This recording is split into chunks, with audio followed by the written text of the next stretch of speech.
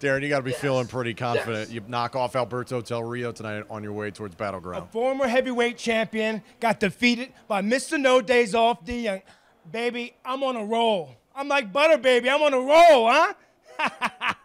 Had to take it old school, primetime player style. But it's great to be here in Providence, and it's great to be here with my life coach, my mentor, a WWE Hall of Famer, my main man, my sidekick, Mr. Bob Backlund. Mr. Bob Backlund, you made some history here in Providence, huh? Come on, get in the shot. Don't be scared.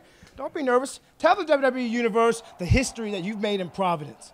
I've had a heck of a lot of uh, history here, but one of the biggest ones is wrestling the governor of Minnesota, Jesse the Body Ventura, in what? this building. It was a heck of a heck of a match. He was a heck of a performer, and I pulled it out. That's incredible. I made history tonight. You've made history. Man, we got to go watch the rest of the show, Coach. What a night for us. Come on, let's go watch the rest of the show. Watch what? We're not watching anything. We're going to the gym right?